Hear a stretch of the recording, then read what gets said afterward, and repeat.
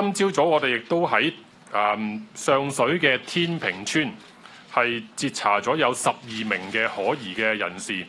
當中咧佢哋係誒涉嫌咧因為管有鐵釘啦、電鑽啦、白電油啦，同埋一啲自制嘅誒尖鋭嘅路障咧，係誒意圖係刺穿一啲嘅車胎，因而係被捕。而被捕人當中咧係有六個係學生，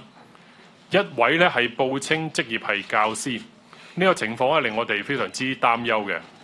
對於喺啊有老師啦同埋學生涉嫌喺一齊參與一啲嘅違法嘅活動咧，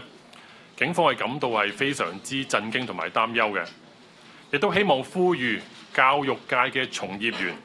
千祈唔好鼓吹、縱容或者引導一啲嘅年輕學生、年輕嘅小朋友去參與任何違法、破壞或者暴力嘅行為，亦都希望家長留意翻自己屋企嘅小朋友佢哋嘅活動。更多精彩尽在中国新闻网客户端。